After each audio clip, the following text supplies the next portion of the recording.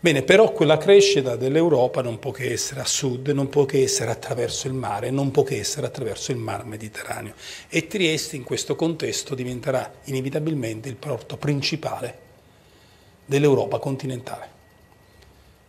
per approvvigionare l'Europa continentale, per consentire di esportare i propri prodotti verso i continenti della crescita, verso l'Africa, verso il Medio Oriente, verso il sud-est asiatico, verso la Cina. Questa sarà la via la via dei mercanti e diventa anche, come qualcheduno, le vie delle Indie, o meglio dell'India, con il recente accordo del nuovo corridoio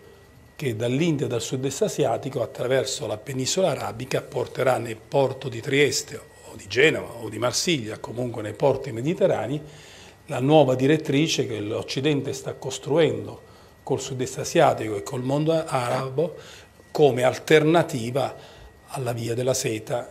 eh, cinese, ma lo sbocco è sempre lo stesso